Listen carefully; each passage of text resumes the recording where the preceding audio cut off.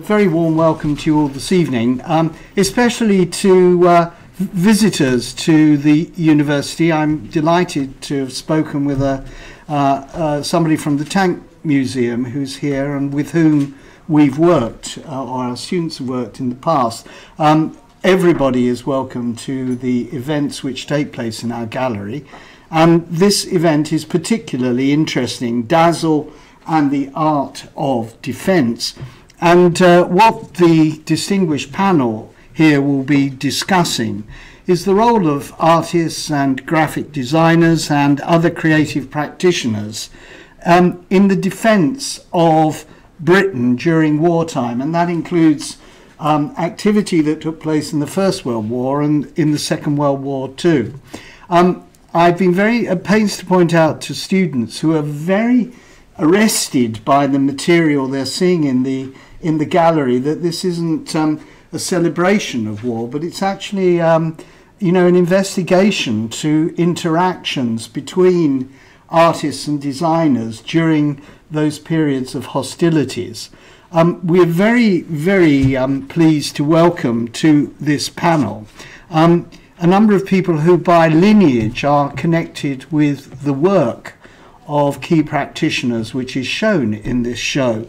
And um, Camilla Wilkinson is the granddaughter um, of Norman Wilkinson, who, um, who really initiated the Dazzle painting um, initiative. And it is an extraordinary conjunction of a very accomplished painter, uh, but somebody who was associated with the Vorticist movement in the pre-First World War period, um, but suddenly sees the translation of some of these ideas into the way in which boats initially, but subsequently other military uh, vehicles, uh, were painted, and not for the purposes of camouflage, but for the purposes of distraction.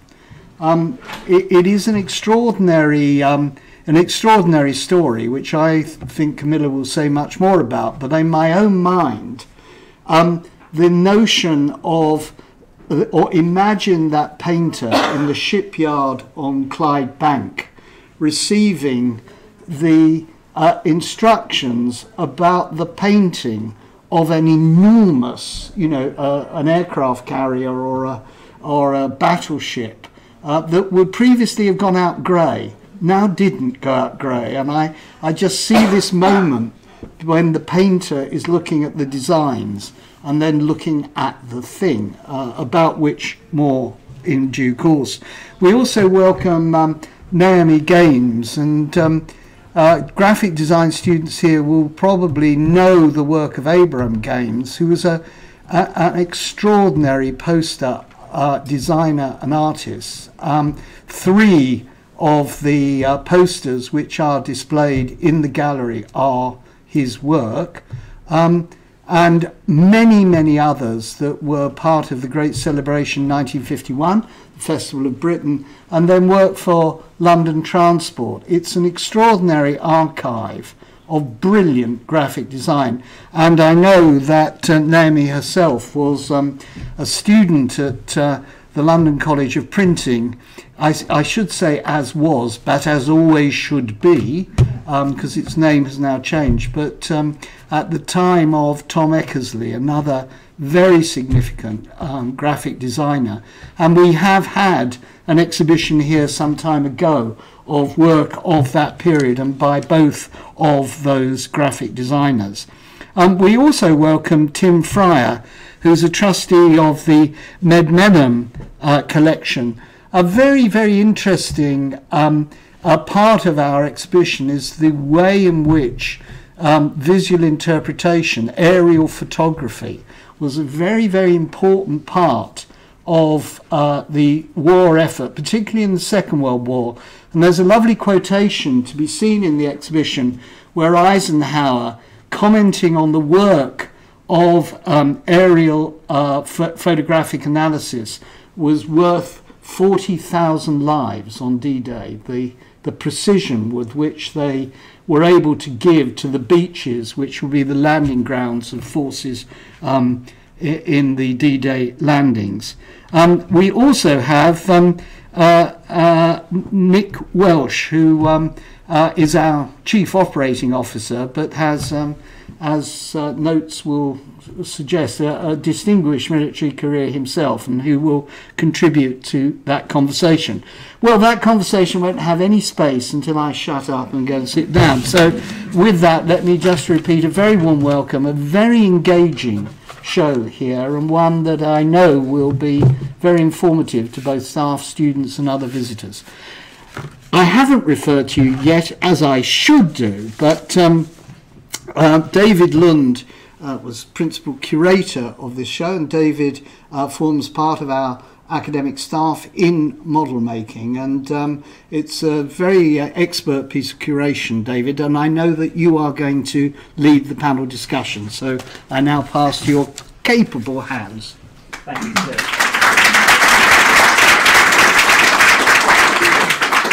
So as I don't have to do any introductions, as Stuart so um, wonderfully introduced the panel, um, we'll begin. And when we're talking about um, the role of artists in the defence of Britain, no one else but Norman Wilkinson could really um, sit at the centre of, of, such an exhibition.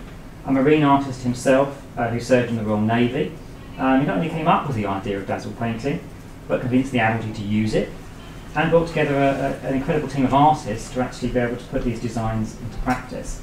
Um, Camilla, how did this come about? I mean, how did we go from having this idea um, that your grandfather had of um, you know, painting the ships in a way to disrupt their patterns, to ending up with literally thousands of ships and civilian vessels being painted in dazzle camouflage? Um, well, I think perhaps um, giving the context for dazzle camouflage is important. Um, so at the time, uh, in 1917, um, the Germans, for the second time in the First World War, had um, declared unrestricted submarine warfare, um, which meant uh, that um, merchant shipping, which was really the only means with which to bring in goods, food, um, and resources for the military campaign as well, um, were able to actually feed, clothe, and support uh, Britain at the time. Um, so they were absolutely vital for um, Britain's existence. And um, this unrestricted submarine warfare meant that torpedoes could um, fire at a ship and sink it um, with no warning, no prior warning, which at the time was against prize rules, um, which supposedly allowed the merchant seamen to disembark and be taken to a safe place. So there were two, two sort of um, mm-hmm. aspects to um, the, the unrestricted submarine warfare that, that seems so um, uh, desperate um, for my grandfather and, and many, many people. Mm-hmm. They were really panicking about the fact that, um, for instance, in, in uh, April of 1917, um, I think it was 60 ships a week were being sunk. And if you see the, there's a map, an extraordinary map, a German map, showing all the sinkings of the ships. And it is, it's really shocking. So they were desperate, effectively, to find yes. a way of protecting the, right. the, merchant shipping. Yes. And Norman was, he was, he was in the Royal Naval Reserve, wasn't he? he was That's right. so he was, time. He was. He was on a minesweeper, which is, I think, probably one of the worst jobs. Yeah, really, you know, alarmingly uh, dangerous job, um, which actually started off in sea trawlers, and eventually, I think there were bespoke um, ships, uh, minesweepers um, built, and he was on one of them. Um, but I can hardly imagine that one might work quite hard to find something else to do. However, um, strongly motivated. Strongly motivated. that's right.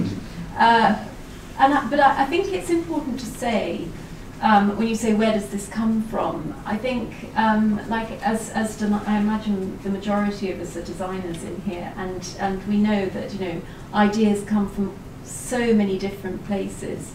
Um, but there was um, prior to his concept, um, there there had been you know many schemes um, that were being tested and trialled, but they were, uh, uh, I'm going to put this very carefully, they were understood by the Admiralty um, to be schemes that were striving for invisibility, right.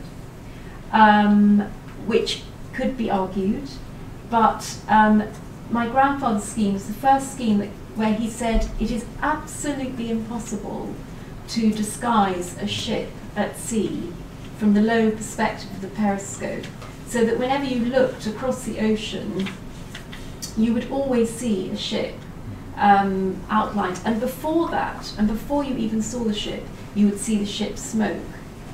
So you could see the ship smoke from, from I think it was something like 50 mile, no, it was about 50, me, uh, 50 foot.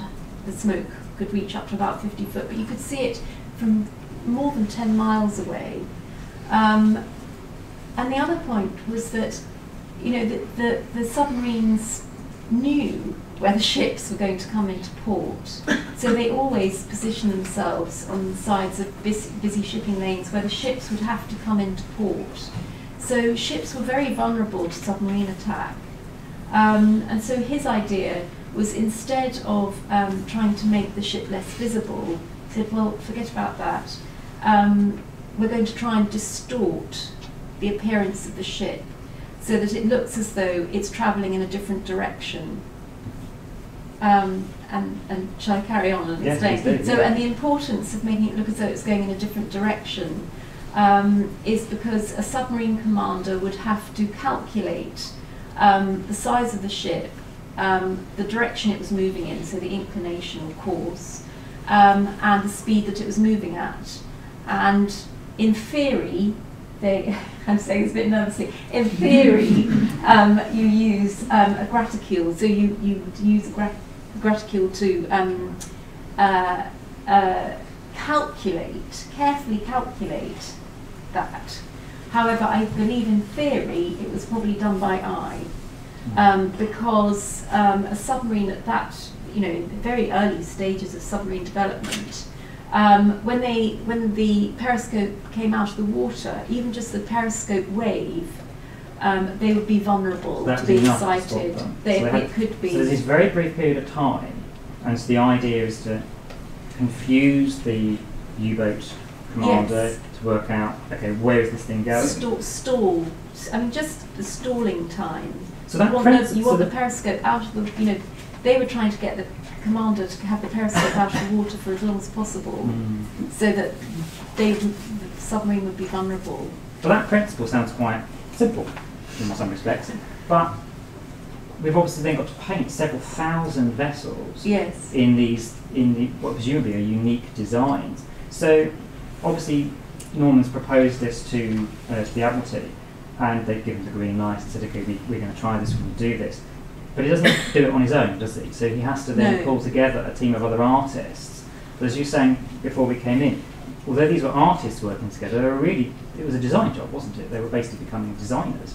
Yes, um, and I think what's important to consider uh, the, the sort of people that he did bring in. So, for instance, um, um, uh, uh, Cecil King um, had formerly he'd he'd been working in camouflage in France Okay. before he um, was brought back. So I think he was very very pleased to be brought back from Western Front. Um, As you would, and yes. as you would, um, and um, but was bringing back with him expertise of the organisation of camouflage, um, and um, and then other artists, friends of my grandfather, who initially friends um, of my grandfather, who um, probably were who were marine artists, um, and who had the expertise of um, knowing about ships, understanding um, their hull and uh, you know the, the actual um, geometry of a ship, um, understanding um, the conditions at sea, the colour. You know, there, so there was a, a level of expertise both that my grandfather had, which was considerable, um, and and that made it much easier for them to work and understand um, what they were trying to achieve, Well, what it the became this- intention was. incredibly visible um, sort of statement in the First World War. But to what extent, you know, do we know whether Dazzle worked? Um, we know it worked enough for it to be uh, continued. There was a point um, a year after the start, so the first ships to be dazzled June 1917, and by August 1918, um, actually the Admiralty handed over the Dazzle section. So my grandfather ran the Dazzle section, and um, the section was then handed over to the Ministry of Shipping. Um, and I think there was a point uh, because, in fact, he was he was protecting merchant shipping. Merchant shipping was the primary that they were the ships being protected rather than food. rather than the navy because the, the naval ships could move fast so they didn't they didn't really need it um, but um, uh, I've lost my thread. What did you ask me? Did it work? Did it work? yes. Um, so thank you. Um, so um, that they uh, uh in, in August 1918 um, they considered stopping it for various reasons. Um, they weren't sure that it worked, um, and so they did write a report on Dazzle, and they said, well, it works well enough to continue it, mm. but most especially it was the morale of the merchant seamen. Um, it really, they, there were some merchant seamen who, um, both in the First and Second World War, mm-hmm. would not go out without their ship being camouflaged. So, so they felt they. So I think valuable. you can say it probably worked if the merchant seamen were keen to have their ships painted. So I'd like to, I'd like to bring Nick in here, actually. Now, obviously, your experience is on the land. Yes. Um, People kept looking at me for advice on periscopes. So I was well, complimented my knowledge. between theory and practice and what really happens. Now, Dazzle was a form of what then later became known as disruptive camouflage. But to what extent does camouflage in general play a role in the military today? I mean, we'll, we'll think of camouflage when we think of, of the military. Um, you know, does disruptive camouflage have a place, or are we relying on more traditional disguising? I think it's, it's a bit of all, really. It might be worth just going back a, a little bit to talk about camouflage. It's a sort of, in basic training, you're taught to put camouflage on from face paint to uniform and uh, to hide yourself, be able to close with the enemy without being found. And uh, everything from shape, sound, silhouette, even smell no brushing teeth or washing in the jungle because the smell sits and therefore you're, not, you're, you're more easily discovered. But actually the, the, the, army got involved from when the point that weapons became uh, more lethal um, and therefore actually standing around in a red tunic on a battlefield became a rather dangerous thing to do. So traditionally in the Napoleonic period we had riflemen in green and they were the only ones who really wore anything that might resemble camouflage. But it was the Boer War when weapons ranges ex uh, exceeded the distance you could close with and kill the enemy that um, we started to wear khaki. The British Army started to wear khaki. Although the French in the First World War, uh, les pantalons, they wore red trousers still uh, until uh, probably a year into the into the fight. Um, but we, we, it wasn't really much more sophisticated that, than that until the First World War. And again, I think it was then when war became an industrial scale that we started to use artists. So artists such as Solomon J. Solomon and others were brought in to paint armoured observation posts as trees, to camouflage the movement of tanks when they came in, uh, and, and to disguise so many objects on the battlefield so that the uh, the infantryman, uh, the poor bloody infantryman, might have a greater chance of survival. Um, and deception, I think, then became brought in on an industrial scale when it was in the Second World War. Um, a good example, I think, is, is, is in North Africa, where deception was used to camouflage uh, the movement of the uh, Eighth Army when it closed with the Germans in the North, in the North African campaign. And uh, what Montgomery wanted to do was to take troops south into the desert uh, and uh, or along the north, wrong, north along the north coast, but he wanted to infer that they were going south. So he used artists to create dummy positions, dummy weapons, dummy railheads, and so on to allow them to move uh, more easily across the battlefield. Um, and and today I think um, camouflage is, is really important, but deception, this ability to, to deceive uh, what the enemy think you're doing is really important. And it's important um, actually to understand it because it's, it's not so much the First World armies that need it, but those we fight who don't have that technological edge that use it so much. I remember going into Kosovo when we first went in, and as NATO forces, we'd been bombing Kosovo for 90 days, taking out all their infrastructure to try and prevent the Serbian army fighting. and I came across sheets of plastic on the ground. And what the Serbs had done to protect this vital bridge to provide supplies was they camouflaged it with trees, with branches which they'd broken off each evening and repaired. And then they created a wooden bridge next to it with plastic sheeting to represent the road. And every night for 90 days, NATO bombed the plastic sheeting and the wooden bridge, and the main bridge survived, and they could use it. So I think um, it's much more uh, that sort of technical edge, and I think we should very much watch what the others do. ISIS recently, as the caliphate was finally closed down, uh, burnt an awful lot of oil canisters to camouflage their positions from the technological capability. Um, in Northern Ireland, um, I remember we would always look for the absence of the normal or the presence of the abnormal. The thing that makes things stand out or different. Disguising what you do has always been a part of the battlefield, but actually where the technological edge is with one group, it's the other group that works hardest to make camouflage work. So the parallels, I think, are there. Um, and I'm interested so when you say you're not sure whether it worked. That point about it being a totemic thing for the individual is so important to the soldier, sailor, or airman. Well, Um, certainly. it's a um, talisman, isn't Yes, yeah. I think. I mean, that was that was the British view. Mm, Um, in the US, they they declared it a success, mm, um, and in fact, um, the uh, insurance shipping insurance companies would not insure a ship that wasn't camouflaged. that's ten- technical. Yes.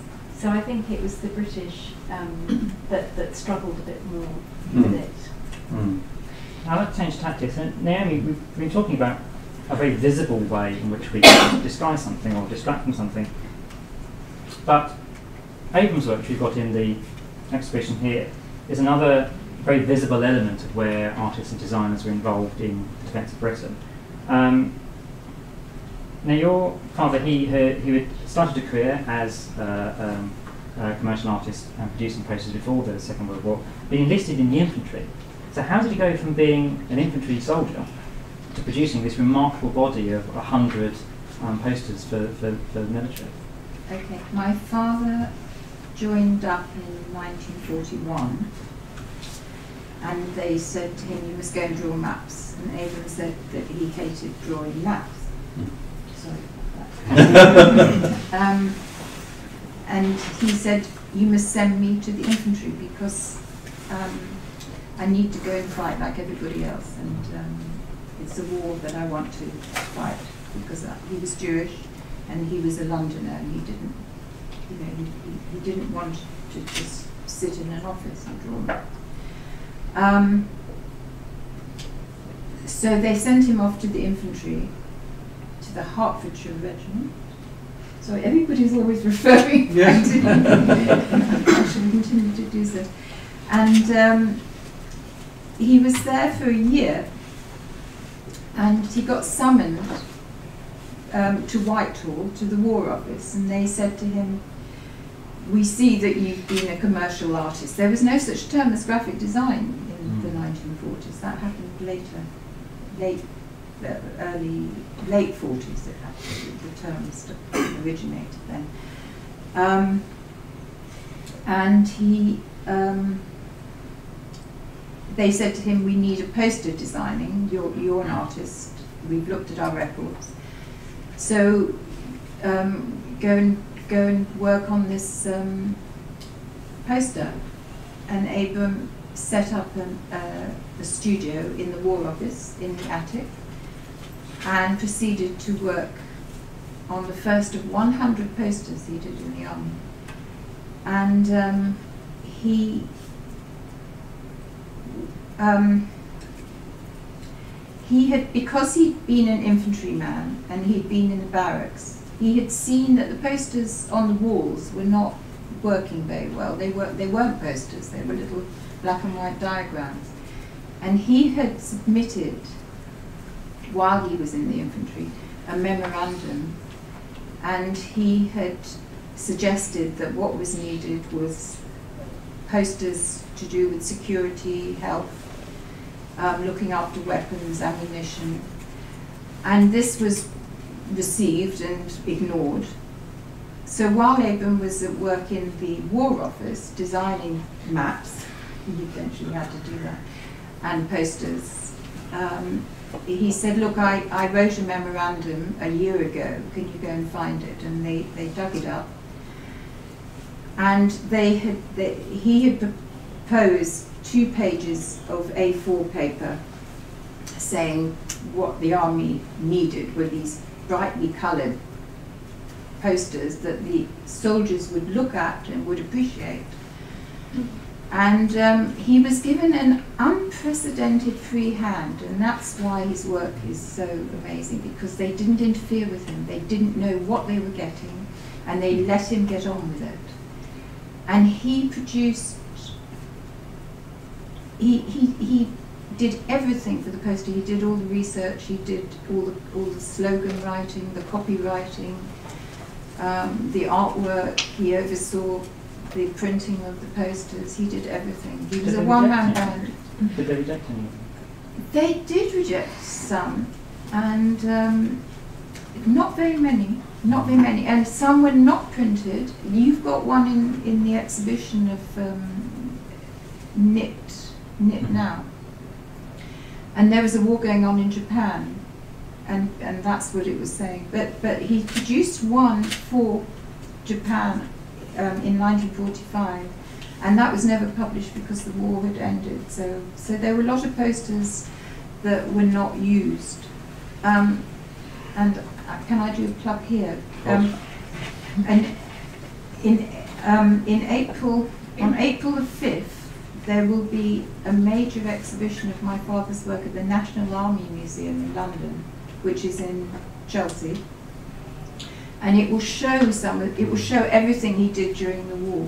So it's all 100 against one explode. All 100 except one I cannot find. I don't know why I can't find it. So we're going to have a reproduction. Of it. And and his a lot of sketches and and um, work that was rejected.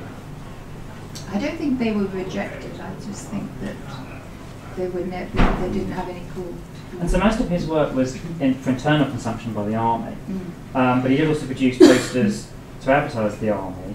Can you tell me about this, the, the, the blonde bombshell ATS um, poster which we have on here, which is probably one of the most famous wartime posters. It wasn't altogether uncontroversial, I'd say. Have you seen her? If you go and have a look, she's very pretty, but she's too sexy. Um, she was she was discussed in Parliament for five weeks. there was a war going on, and the bombs were dropping, and this poster was discussed, and they said that um, she, that girls shouldn't wear lipstick. Which was ironic, really, because girls had to wear lipstick in the ammu- when they were producing am- ammunition to and makeup they had to wear cosmetics to protect their skin so it was very bizarre and she looked too much like a, a glamour girl a prostitute i guess. And um, she was banned and pulped so actually that poster there is, is, is a reproduction. I have an original. And there will be an original in the national And do you feel that his wartime work was sort of given the, the appreciation that it deserves, the, the importance of his, of his work? Um, you, you mean then or now well, both. I mean, I think obviously now, in retrospect, we look back and we, we, we appreciate these things from a more artistic and design perspective. But obviously, he produced this enormous volume of work which was so useful for the army, and it was they, they were they were they're not frivolous messages. They were very serious messages to improve, particularly the health and um, the cleanliness of, of, of the soldiers. When when that work finished, did he feel, gosh, yes, I'd done something. I'd done something I was really really proud of, and did he feel rewarded for that work? He was made in in um, 1942. He was made a, the only ever official war poster artist. Norman was a war artist. No, he in fact, wasn't. he wasn't. No, no, he was never a war, an official war artist, actually. Right. Well, Daddy had the accolade of being official war poster artist, but I cannot find a record of it. Oh. So I think the boss said to him, "Well, now you're official war poster artist," and I think and that was that. And he always, I mean, he was. I mean, there was hasn't been another. There have been war artists. I think over 400 war artists, but only one poster artist. Um, he was very proud of that. Um,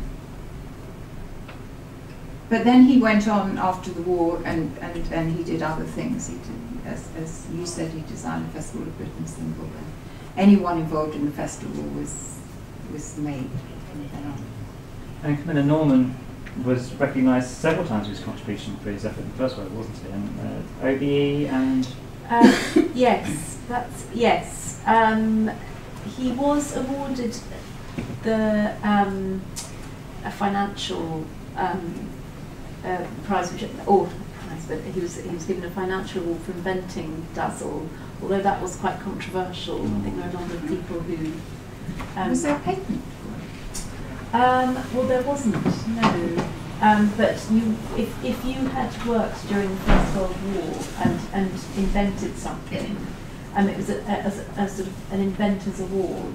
Um, but it could be for a bullet or a, I mean, for anything, any kind of work that you'd undertaken that had prevented you from doing your civilian work.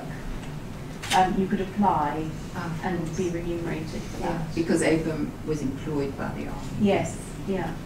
So on the flip side, Tim, turn to you now because these are very visible and publicly, um, or publicly visible ways in which um, creative people were involved in the defence of Britain. But now at Medmenham, there was a lot of creative work, there were a lot of creative people involved. This was kept utterly top secret at the time. Um, the Central Interpretation Unit, set up in the Second World War, it grew out of a private aerial photography um, company at its, at its nucleus. When it was set up, though, what, what was the Central Interpretation Unit trying to do? What was, what, was the, what was the ambition of using photography and then later um, model making? Um, even before the war, the um, MI6, the Secret Intelligence Service, perceived the need to find out more about what was happening in Europe, particularly obviously in Germany, um, and they contracted a rather dubious Australian called Sidney Cotton to start taking surreptitious photographs over Germany, and there's all sorts of stories about that, which we haven't got time to go into. But actually, one of the people who started working with him just as war broke out was a chap being there for us. His surname was Longbottom, so he was obviously named, nicknamed Shorty.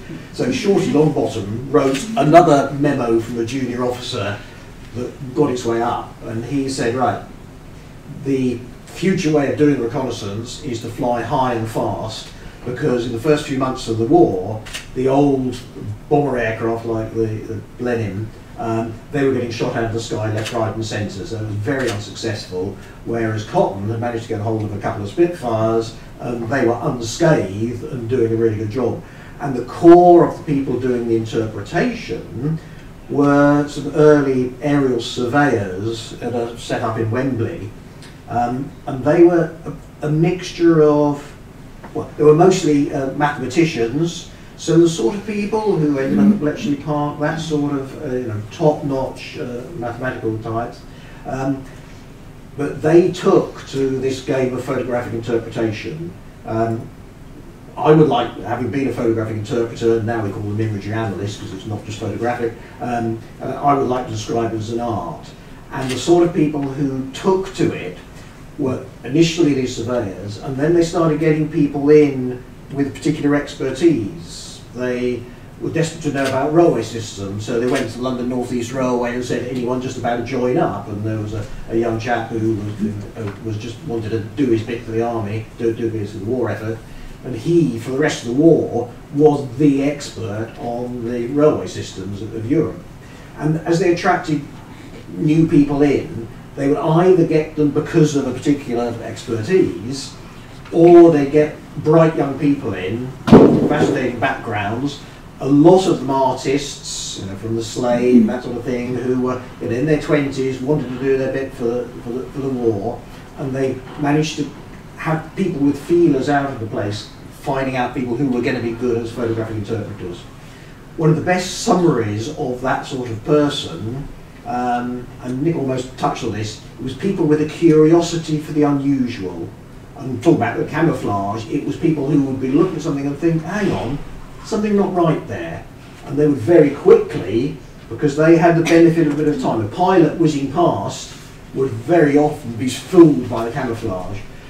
A photographic interpreter who would arm with a simple stereoscope like this, and millions and millions of prints running off from all the sources, um, they would be looking through, and camouflage would very, very seldom uh, fool them. Well, I'd actually say that the Germans never successfully hid something from us. But of course, if they had successfully hidden something from us, we wouldn't have known that. actually, a lot of the interpreters were so dedicated, so deeply um, involved with their subject areas that they became the national expert. Okay, they might have somebody in Whitehall who is officially the expert, but if the people in Whitehall had any sense, they would defer to the imagery analysts who were actually seeing the evidence on the ground in the photographs. And a lot of them were able to go to Germany and, and the, the rest of Europe and visit the sites that they've been looking at for years and years um, with their, their photographs and they confirmed when they got there that ah yeah we got that got that and there was very very few if any surprises there they, they did find it all And so by the end of the war, we have over 100 model makers working at Red Yeah. Lenin. Yeah. Perhaps you could explain why on earth are there model makers suddenly there? yeah very early on and actually was part of the camouflage unit um, uh, at Farnborough um, they started making models because as the the uh, as the forces wanted to start doing various operations, they thought, right, okay, maps are fine, but actually we need a bit more information. We need to visualise it. Well, Nick said, you know, that ability to visualise quality maps and things was, great, but also having the benefit of, a- of a model was uh, was fantastically useful to them.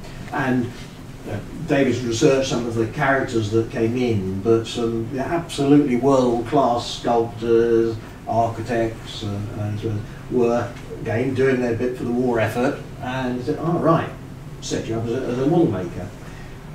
Quite controversially, early on, the Air Force, who were given the role of looking after the photographs and, and doing that interpretation, they made the model makers, I think it's pattern maker brackets architectural as their their trade, and they were very poorly paid, but they didn't, well, they minded it to a certain extent, um, but they realised how what a valuable job they were doing. By the end of the war, they were on a bit of a, an extra pay band, um, and they actually called, admitted that they were, were, were model makers.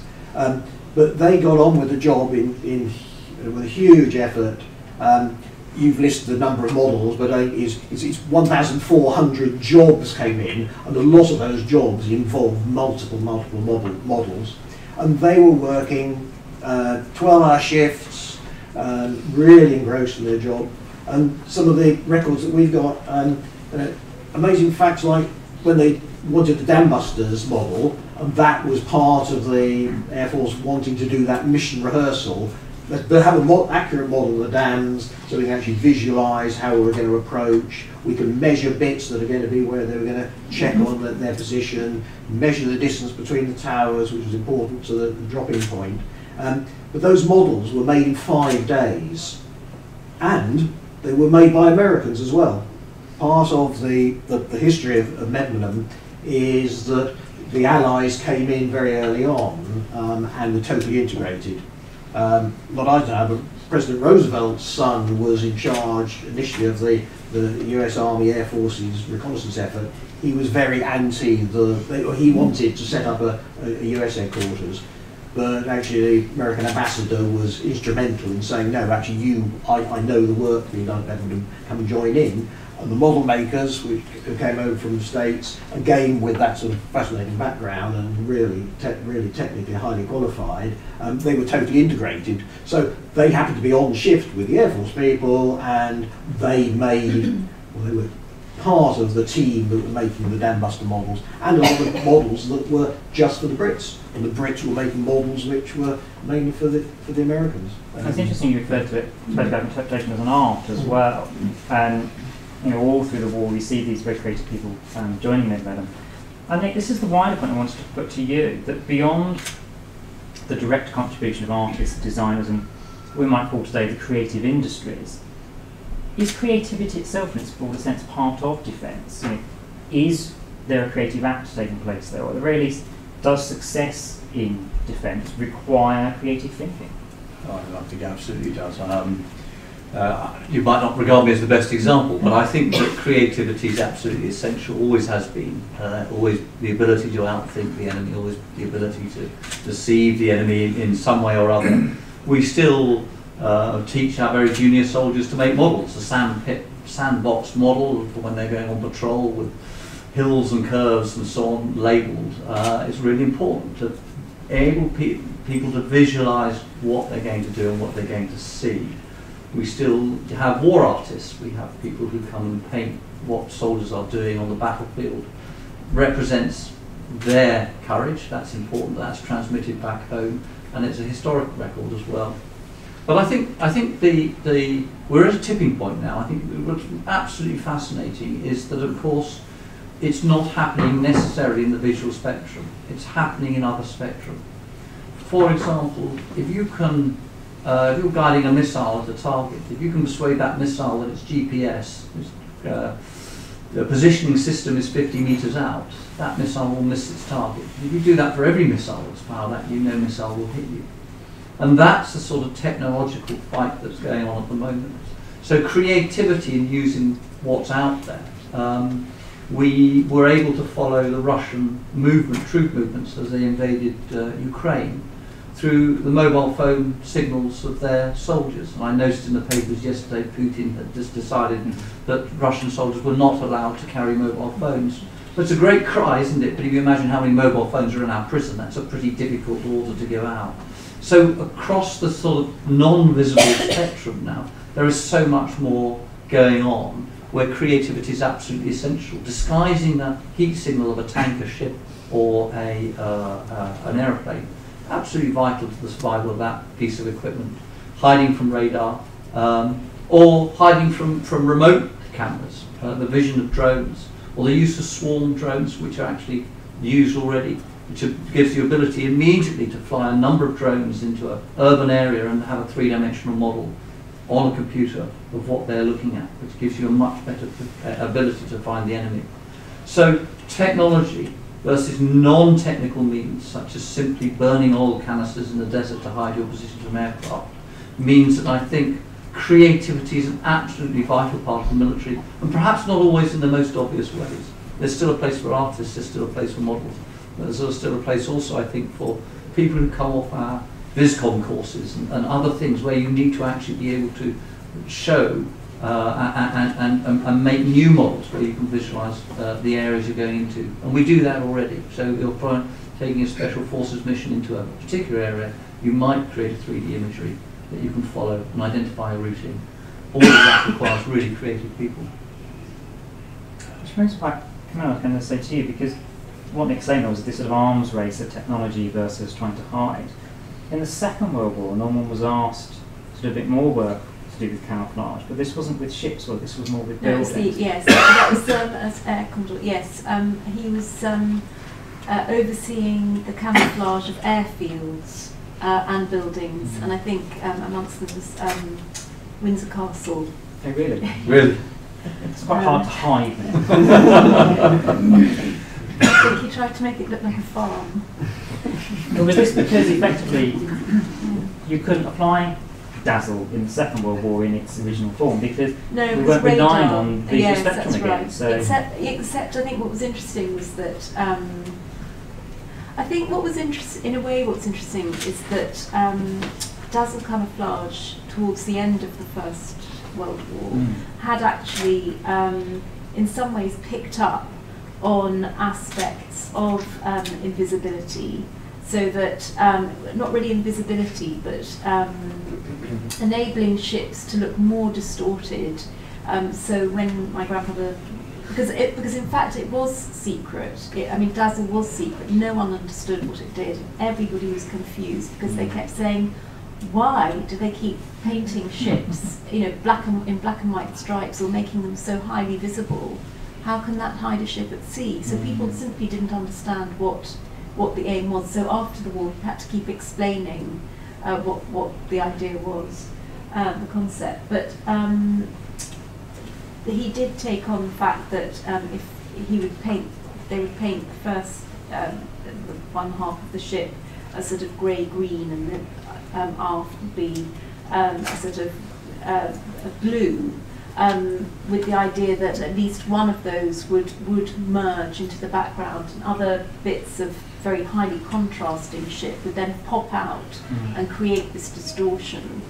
Um, but I mean, there are many, many devices because obviously one of the problems with camouflage is once your enemy has understood what you're doing, you've lost the game. Mm. Um, so in a way, it had to be constantly reinvented. Mm. And um, I think what was interesting was Everett, um, Everett Warner, um, an, an American um, camoufleur, um, camouflage artist.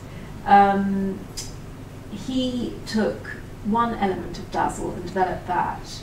And then my grandfather actually developed another, the striped version. Mhm. Um, so um, Everett uh, discovered through explaining to the Ameri- uh, to the ministry, he had to explain, you know, how how Dazzle worked, and he got his ship like this, and he sort of cut it up like a cake, and twisted it, and then repainted that, so that it was just completely distorted. And then he realised what he'd done. It was sort of through the make, and we all do this, but it was through the process of having to explain to someone else what he was trying to do that he actually really discovered what, what he was trying to do, he really understood it geometrically. Because before that, he's written about he'd written about it after the war. Before that, they were kind of playing around with devices, visual devices of distortion um, and illusion, but not really fully understanding it. Um, and so the ships that you see that look very, very three dimensional, very, very twisted and warped, are probably Everett Warner. And then my grandfather's version went on to sort of these patches of colour and the stripes. Um, and then they put the really the most extraordinary designs, the ones where the two come together. Um, and you get the stripes and this extraordinary geometrical distortion. They're, they're the most sort of exciting ones. But, but come the Second World War, it, it turned more into disruptive, disruptive camouflage, where really there was much more of an element of trying to get the ship to be less visible. Yeah. I didn't particularly answer your first question about the secrecy at Medmenham, but actually one of the how much of a conscious decision it was, but Medmenham, which is a very imposing um, ch- whitewashed chalk building overlooking the Thames, they didn't attempt to camouflage it at all because they knew that if they did camouflage it, then it would have been an indication of how important it was. Um, and very briefly, the one of the um, people whose job was to look at um, uh, decoys, they did a survey of different German industrial areas to see where there were most decoys, where there was most camouflage, where there was most effort, and that found the ball bearing factories, which were one of the most important industrial bombing uh, actions during the war, because they were looking at where the where that deception thing was. Well, that well that touches in some ways upon the failure of Dazzle, um, to some extent, in that it was the ships, you know, it was the larger ships that were dazzled, dazzle painted, and it was the British ships. Um, and for instance, I think it was um, there was a big question about whether the Swedish ships should be dazzle painted. Um, so the Italian, French, um, um, Japan, but they. Um, the, the ships that were dazzled were the ones that were targeted. So that when in dazzle and convoy, the convoy system, so that's where ships would all um, sail together um, and protected by um, the navy. They all that which was really the most successful. That was really successful. Um, uh, when you saw a couple of if a couple of them were dazzle painted, they were the ones that were targeted because they were sure to be British. Ah, I see. So, final question to put to all of you, really. We've talked about this sort of connection between the creative disciplines and, and defence. And as Stuart quite rightly put in the beginning, we're not celebrating this connection, we're reflecting on our own creative disciplines' involvement in what were periods where the whole nation was mobilised to defend um, this country. But particularly with the sort of the iconic imagery of both Abram's poster work and through Norman's work in Dazzle. I wonder whether the panel feels that this contribution of, of artists and designers to defence has been as widely recognised as it should be. I think in our in, our area, there's quite a lot of good accounts of it, but um, I think the there is um, there's still lots of stories to tell about some of the exceptional people that were, were, were working there um, and their backgrounds. And it brings me to think about what might happen if we were in similar circumstances, which. Lucy wouldn't be, as to how many bright young things would want to then go and do their, their bit and um, completely change tack and have an incredibly rewarding um, little career um, within the military. Um, or an agonising period. I was reading something recently of the, the, the accounts that many of the women particularly um, had at the end of the war when they suddenly realised their hands might have been a bit bloodied by what they were doing. And so there was a lot of, lot of heartache there as well. There's a lot of personal um, satisfaction and some absolutely amazing stories there. Absolutely. I think that's really important, that reflection aspect of this exhibition, to, to look back respectfully and somberly and not just admire the artwork, but admire the dedication that people put in, and that this work was this was not commercial work. This I- was for a vital, vital role. I think in my father's case, he, the, the work, his work left a legacy of producing work for the power of good. Hmm. And he, he never joined the commercial world. He did posters for London Transport because he had to earn some money. But he, he, he believed that the poster, the poster that he designed during the war that had a message that, and um, taught people and gave information was a very important tool. And I think that legacy has, posters are produced, were produced, they're not produced anymore, sadly. But um, not good posters and maybe it's not effective posters. But, but, you know, you can just think of the AIDS poster, the, uh, the famous AIDS poster, and um, he did posters for VD. Then he, he introduced posters for health and, and important subjects, and I think that was his legacy. I'd like to think that's his legacy. There are some instances where they do posters, the people involved with the, I don't know it's still called psychological operations. Um, one example that I, I know about is that they wanted to do a poster in Afghanistan to try and persuade young children not to pick up objects which were explosive devices. Which And is the poster they initially did had um, sort of an elder sister telling a younger boy, don't do that. I even did And then they They got- did Yeah. posters for And then, then they had their bit of advice, and actually that didn't go down very well. So they had to do an elder gentleman telling the young boy what to do because they was touching a sensitive area there. Yeah. You know, they've got to, you know, it, it, you- you've got to Well, really hit the spot with these things and get all the political uh, correctness or political incorrectness right. They had psychologists working in the War Office, Mm. and, and a lot of Abram's posters he had to fight to get them through because the psychologist said, oh, you can't do that. Yeah. can't do that." He said, yes, you bloody well can. Wonderful. We're rapidly running out of time, but there are, you know, we have a short period. If there are any questions that the audience would like to ask any of the panelists, we can Can, take one or two. can I ask a question? Of course. You mentioned, you mentioned that um, war artists still go out in the field. Mm. Why? Now, why do they, why, because we've got photography, Mm. why, why do we have war artists now? I think we still, as a military, you know, as a, as a nation, record things in paintings.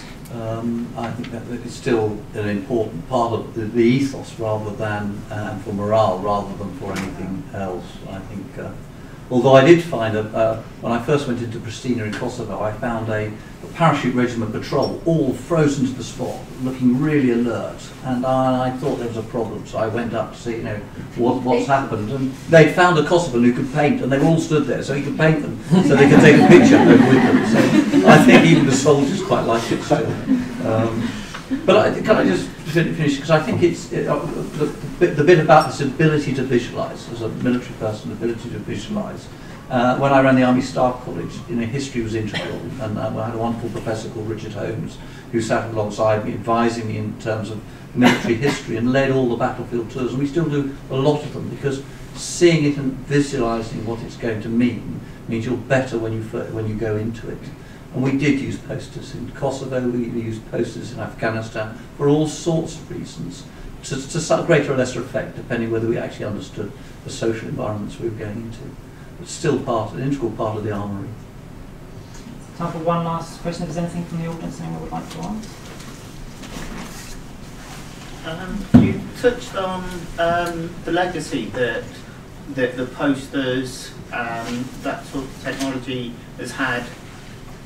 Do you think that that's going to become a lasting legacy, both within the military world and in a more commercial sense? And this is especially with the, the Dazzle ships. I just I Yeah, well, Dazzle, that Dazzle relates to the kind of, yeah, well, I think Dazzle has um, uh, really become uh, its own culture. I think there's a whole culture around it, whether it's, um, you know, orchestral manoeuvres in the dark, uh, naming their album after it, and, and the music. Um, I mean, there are so many, there are buildings, there are all sorts of dazzled um, interiors, all, all sorts of people fashion. I mean, I'm wearing Maharishi top, which is so worn out, I patched it. I'm wearing it, starting to drop off. Um, you know, so, uh, you know, Maharishi have their Wilkie shirt. Um, you know, that there, I think it has spawned a lot um, of, of um, fashion, music. But um, at the time, immediately after the war, I think after the First World War, um, I think it was Frederick Etchells who, who described an exhibition. There was an exhibition of uh, paintings uh, of, of, from the First World War, probably probably with some Wadsworth um, black and white prints of dazzle ships.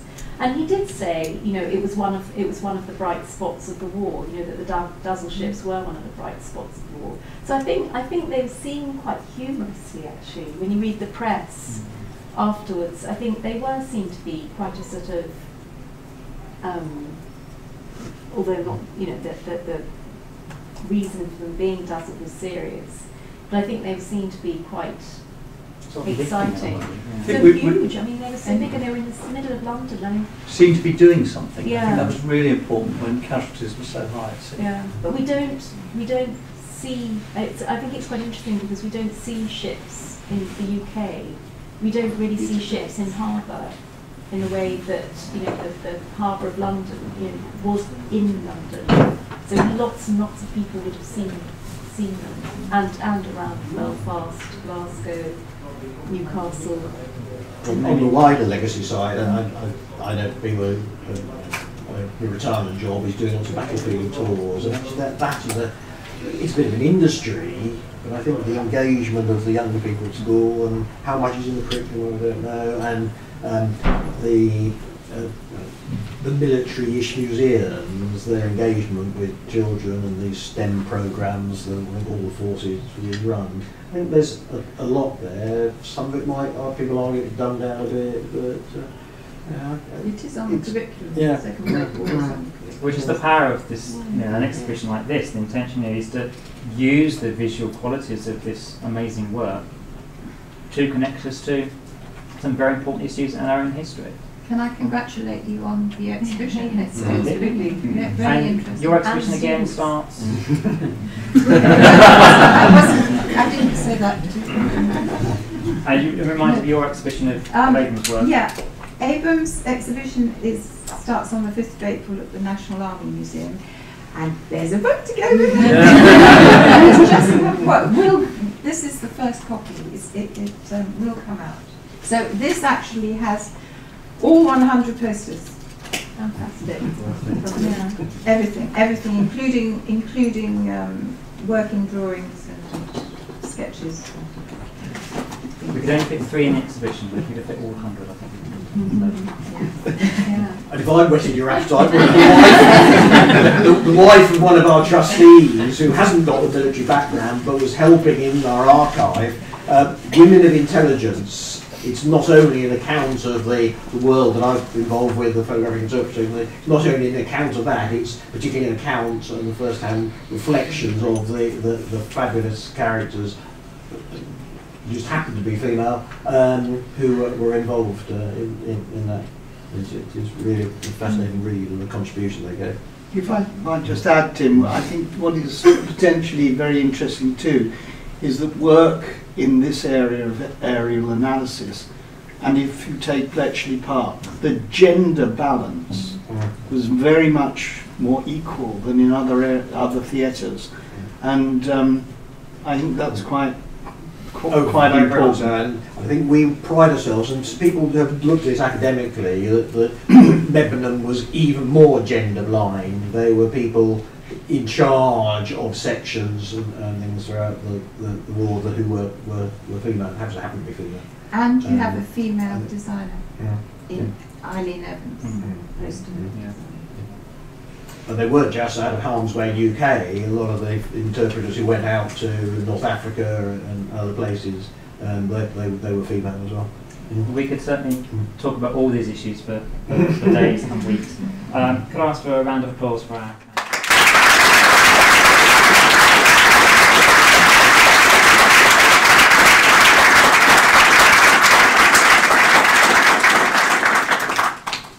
To make a few special thank yous.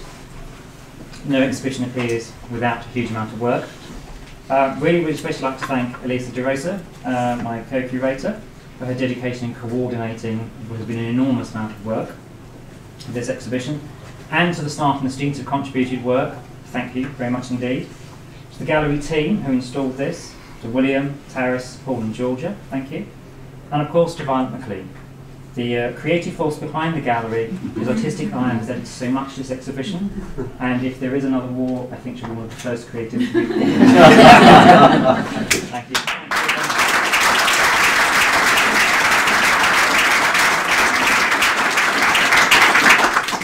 Thank you all for coming this evening. I'd like to also formally like to thank David for chairing the panel this evening. And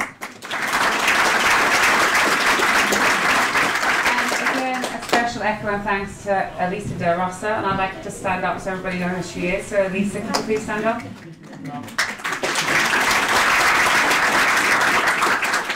With that said, please carry on the conversation over a glass of wine. So if you'd like to make your way to the gallery, please make the conversation start.